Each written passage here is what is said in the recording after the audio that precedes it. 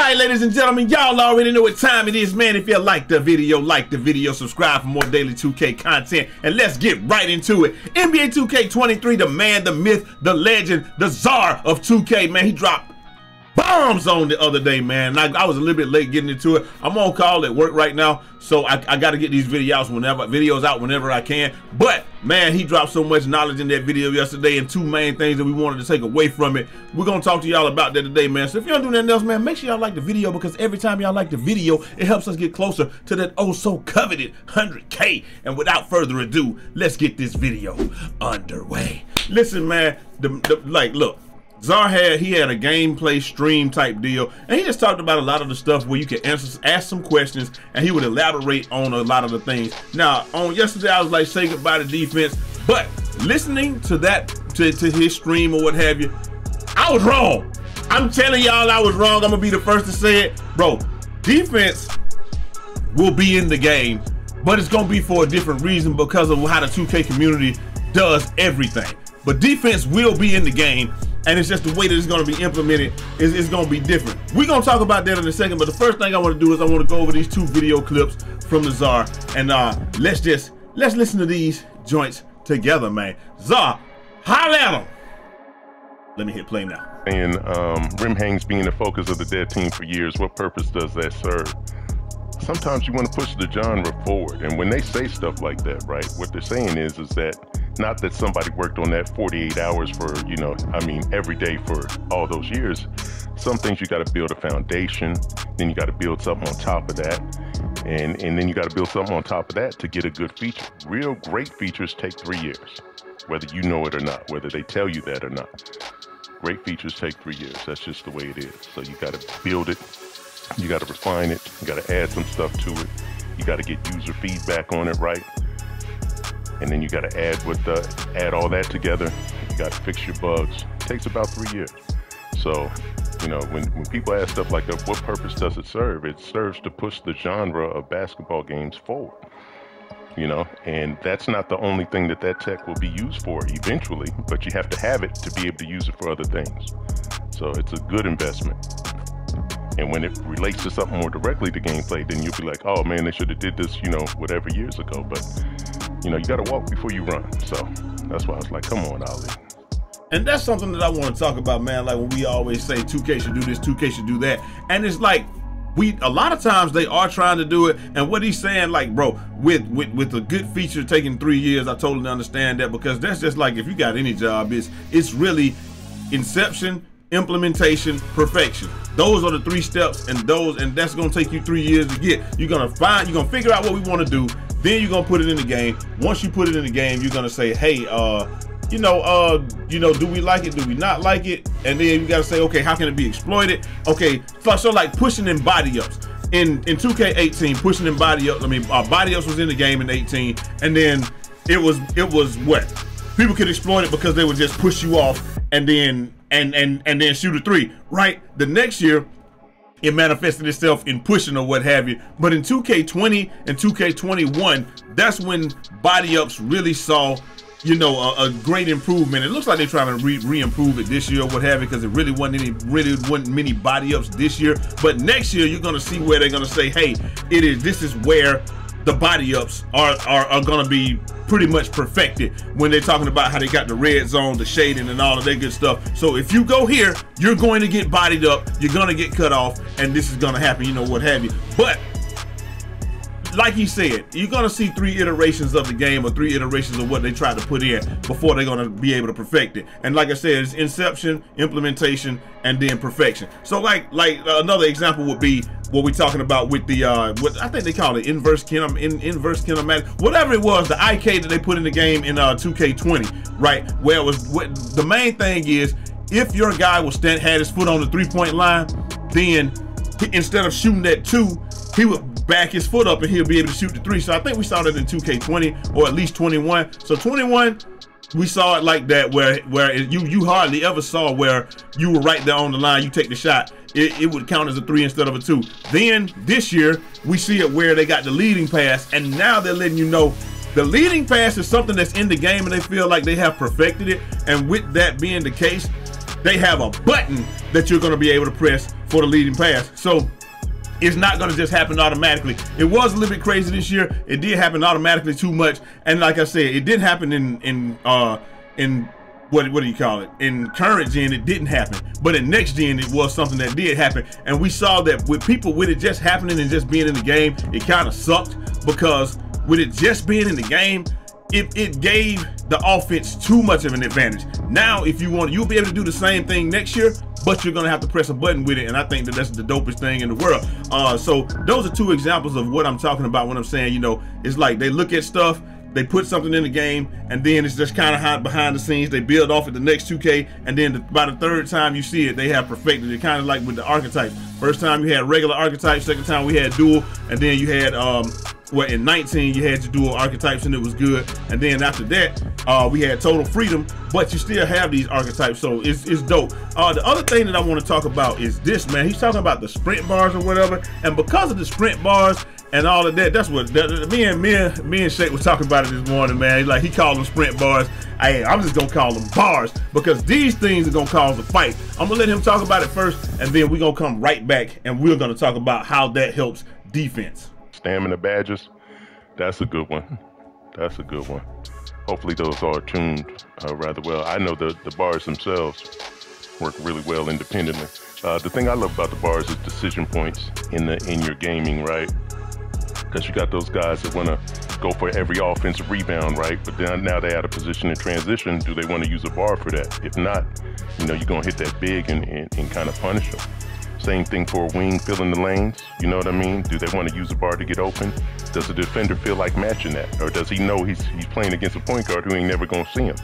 You know, so can you keep three bars while your opponent has two? All of these little situations, you know, them people that like to stay in the backcourt and try to steal the ball and all that nonsense. Hopefully, it will also encourage people to push the ball up the floor via the pass instead of the dribble all the time. So uh, it's some interesting things, man. It'd be interesting how the community shakes out with that. But um,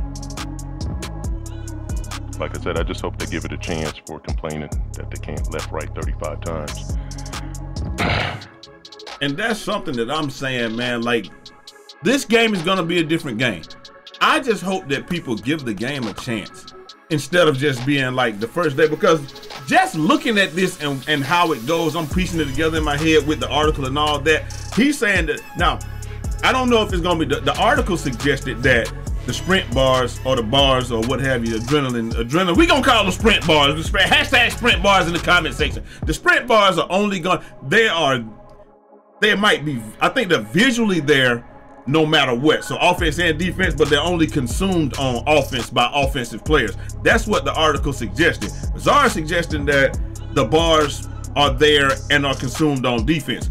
I don't know. I'm just gonna go by the article. What the article said. So it's just saying when you when you're doing things on offense, you're gonna you're gonna consume a bar when you sprint. So I feel like this is gonna make the game look a lot more like a real game of basketball. Because it's not going to be one of those situations where like in, in 2k people are going to hate this. Absolutely hate it from the jump. I'm gonna tell you that right now. Because you're gonna have some teams of randoms or three randoms or three bombs. Bro they're gonna be out there with no bars because what do randoms do? How do they play? Get the ball, sprint. I ain't got nothing, sling it. And then the other dude is sprinting off ball. I ain't got nothing, uh, give it to me. Sprint, sprint, sprint, sprint, sprint. Instead of moving tactically and with purpose in the game, we've gotten so spoiled by unlimited turbo that all we do is literally sprint everywhere. You missed that, miss smoke that layup. That's what happened when you got some interior defense. Uh, they, this game over with, players, so y'all can just watch this. But something that you that you want to watch. You see how T plays the game and he's getting to the point concisely, and he's not you. He's using the dribble moves, but he's not sprinting or doing anything. I'm looking. I looked at a lot of T gameplay. T only use, uses the speed boost once or twice.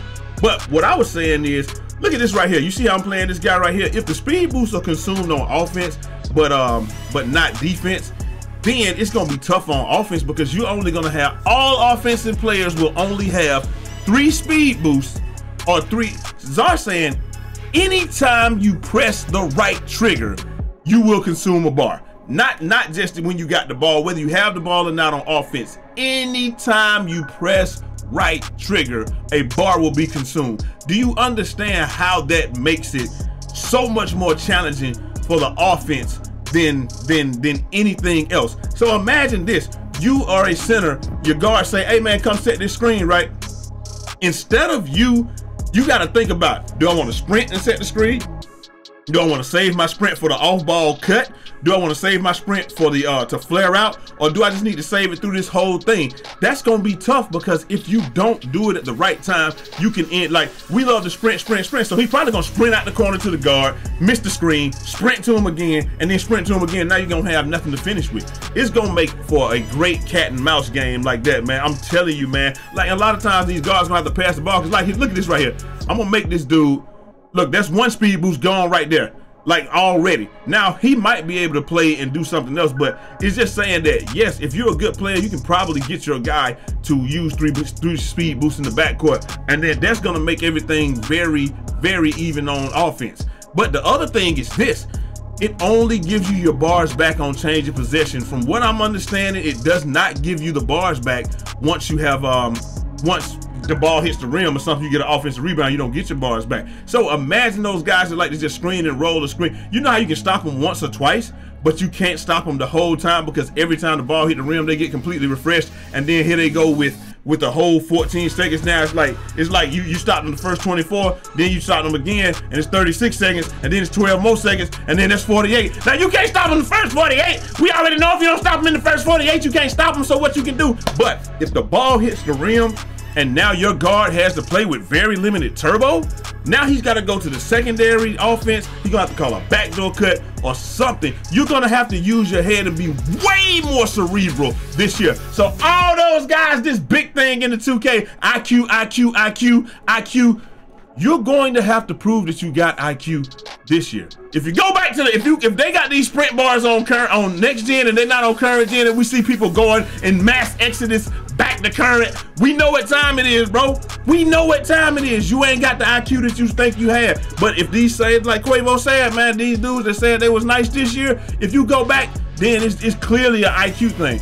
A lot of people not gonna be able to get used to. You're not going to be able to get used to it because we've played 2K so long, and the only thing we do on 2K is sprint, sprint, sprint, sprint, sprint, sprint, sprint, sprint everywhere on the court. That's not real basketball. And from what I'm understanding, they want a product that is going to more mirror real basketball. We saw in the video yesterday, Czar was like, yo, a lot of people play the game, and his like, our game is way faster than the NBA game uh, as as compared, and that's why because we sprint everywhere. Look how fast we up the court. Now I would have to I would have to say, shoot, if I'm gonna use a bar to get up the court, I'm only gonna have two bars. So if he call a back door or something like that, then I'm not gonna be able. I may not be able to take it, or I'll be able to take it. I won't be able to finish. Right here, where he's talking about if the bars are consumed right there, when he goes for that offensive rebound, he gets that board. That could be his third bar. So we're gonna be telling people a lot. I can see anonymous right now. Stay off turbo.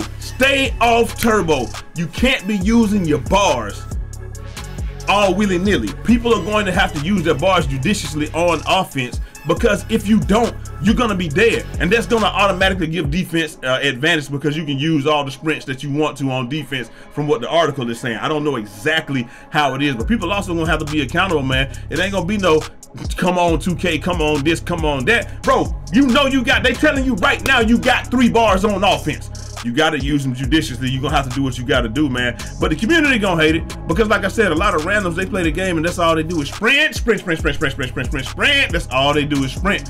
And I understand that that's how it is, but we are going to have to adapt. And I hope that we do do this. I hope that that we're okay with keeping the game like this and that a lot of people adapt and a lot of people just say, look, man, I, I am willing to play a product like you said. We want to push the genre forward. Like I said, I love Czar, man. I already know Czar. Hey, let me know. Yeah, I know you're gonna watch the video anyway. Hey, man, hit me up in the DMs, man. I want to chop it up with you a little bit, man. I want to ask you a few questions, make sure I got this. I don't know if I got it right or not. I'm just doing a guessing, conjecture, and taking what we have from the video and from that. But I would love to talk to Czar, man. I don't know if he's gonna talk to me because sometimes they do stuff and they change the, the shooting and stuff, and I'll be like, Czar, you can't keep me from shooting that basketball. I'm gonna shoot the basketball. Or I'd be like, you know, man, come on, man. We said the, the bots was gonna do this this year.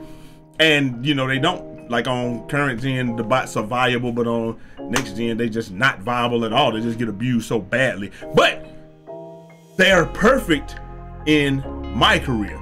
So I guess they did do what they say they're gonna do. It's just not implemented in the game mode that he has no visibility of or, or what have you. That's what we say, you know, in the tech world. Uh, I ain't got no visibility on that. I have to ask somebody. But like I said, man, it's gonna make a great cat and mouse game. Defense is gonna be off the hook because just by the fact that I got unlimited sprints on defense and you don't have unlimited sprint on offense, that's gonna make defense be off the hook. Now they may have to go in there and fine tune and balance that, but man, to me, mwah, that's beautiful because they it would be really hard because in turbo slide, just imagine in turbo slide, I'm trying to keep up with you, and sometimes you got to sprint to the spot and then hold up. Y'all see my cricket in the background. This is why I make out a t-shirt. So hey, if y'all want this shirt, let me know. It's in the it's in the store, but a lot of times that's how it is. Like you got to sprint to the spot and you got to use left trigger to stop. So, and even if that was the case, man, you could you we could we, we were gonna do some crazy stuff. Like I was talking to anonymous, I was like, well, if they do consume bars on offense, the only thing I was gonna do is is do it like uh, I'm gonna press him coming up court, and then when he come across half court, we're gonna switch. I'm gonna make him use one or two bars, then you got all three of your bars on defense, and then we just gotta switch it up, and we gotta play like that. It's just like it, it made it, it, if, if if it's on defense, also it's gonna make for so many different cat and mouse mouse mind games. But if it's not, it's gonna make for a very balanced game because the offense. This is real life. You can dribble all day and, and, and fake and do this and all that, but when I'm going to the rim and I try to finish and I don't do it or I can't, I do a power move, I only got about two or three of those in me per possession for real in real life.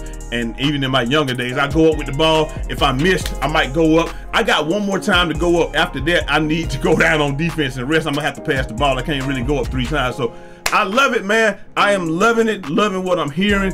The offense will be limited. The only the, the, guards don't have to think about it, but like I said, you're just gonna have to adapt. Maybe you gotta walk the ball at the court. Maybe you're gonna have to use ball protect more, but you're not gonna be protected by just sprinting around the court. So, like I said, all the top guards, if you're still a top guard this year, respect. But like like Quavo say, bro, if you change the if you if you was guard this year and you ended up guard this year at the end of the year, you changed the locker center, bro, it, it's gonna be tough. He, hey, Quavo already told you, I'm gonna be on your. If that's the case right there, man, you started the you started the year at lock, and then you started getting cooked at lock and center. So you changed the guard, and then you was a top guard, and now you changed back to lock and center because because you can't, you, you know what I'm saying? You can't do what you was doing in the next 2K.